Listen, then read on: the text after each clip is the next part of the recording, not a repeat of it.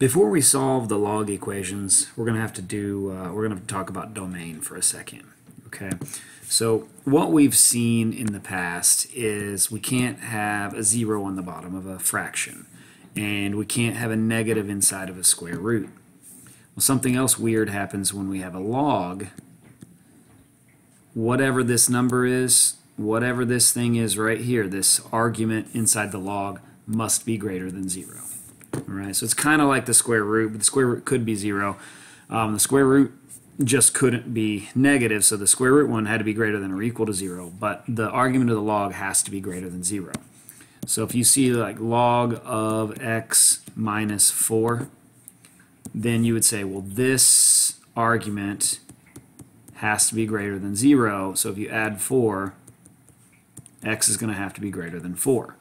So when we when we do the domain, you'd have to go, well, if it's greater than 4, it's going from 4 to positive infinity. That would be the domain. Okay, so just keep in mind, whatever this is has to be greater than 0.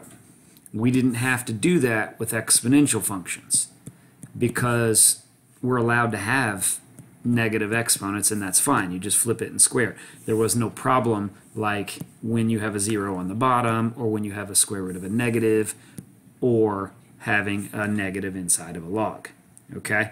So it's not that you can't have a negative inside the log, it's just the overall argument must end up being positive.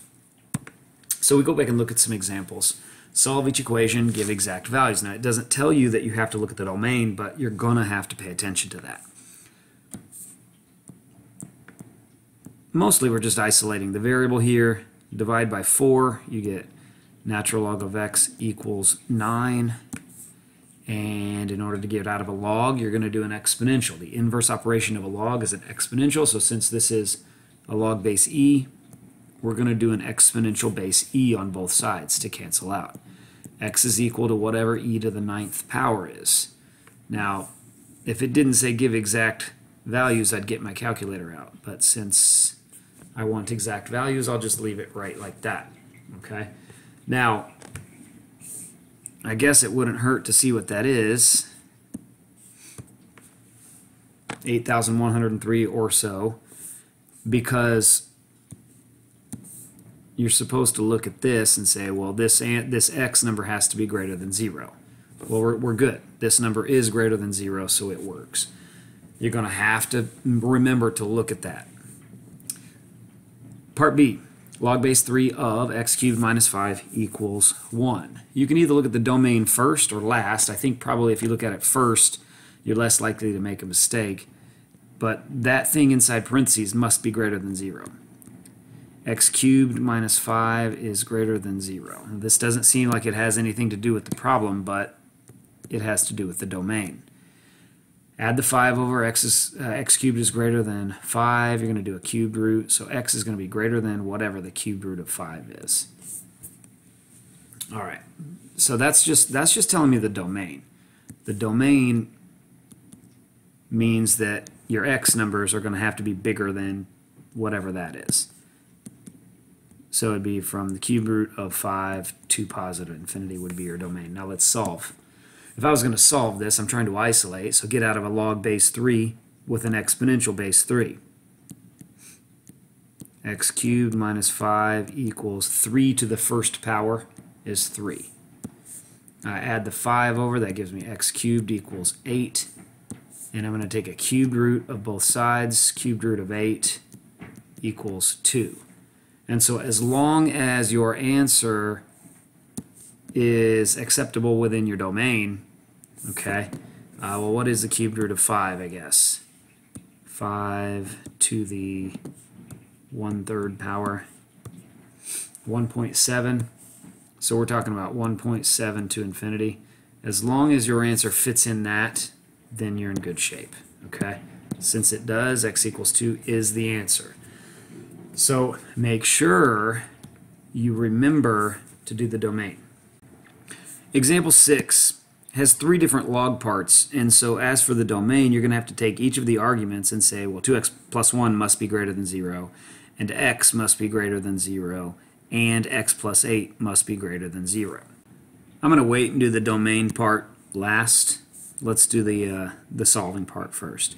So notice it's log plus log. We're going to go back and use our properties and say we can condense to a single log using multiplication. So 2x plus 1 times x, I can condense that into a single log. So log of that equals log of 8 plus, or x plus 8. Okay, so you can distribute in there if you want to. Log of 2x squared plus x equals log of x plus 8. So I've got log equals log, that's log base 10. So if I want to get out of the log base 10, I can do an exponential base 10 on both sides. That cancels out and leaves me with just 2x squared plus x equals x plus 8. I'm going to try and get my like terms together, but you notice these x's cancel each other out. And so the equation becomes a lot simpler. 2x squared equals 8 divide by 2, you get x squared equals 4. And we know we're going to take a square root, but the even root is going to lead me to a plus or minus answer. x is going to equal plus or minus 2. Maybe. All right. We have to we have to make sure that neither none of those numbers, neither of those two answers would give me a negative value in my log. And so remember back up here at the top when we said those things have to be greater than or equal 0. 2x plus 1 must be greater than or, or not equal, greater than 0. So if you subtract 1 and divide by 2, x must be greater than negative 1 half. So you can already tell negative 2 is not going to work. But let's go ahead and do the others. x is greater than 0, and x plus 8 is greater than 0. So x must be greater than negative 8. All right. So if you really you have to put those three things together. If let's say here's 0 and here's negative 1 half, and here's negative 8. Your answer has to be greater than any of those, and so your answer really is going to be over here somewhere. Your answer really has to be bigger than 0. So if I was doing the domain on this problem, it would be from 0 to infinity.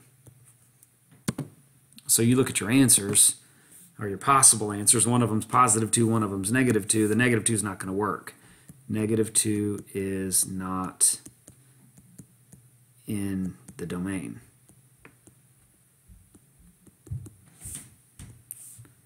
So that means our answer is just positive 2. x equals 2.